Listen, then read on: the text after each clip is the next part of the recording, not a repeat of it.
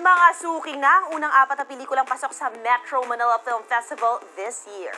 Kabilang sa mga buena manong entry ang MoMA Land starring Vice Ganda and Ann Curtis. Muli ring magkasama sina Vic Soto at Maine Mendoza sa Mission Unstoppable. Pasok din ang pinag-usapang Pinoy remake ng Miracle in Cell No. 7 na pagbibidahan naman ni Aga Mulak at Nadine Lustre.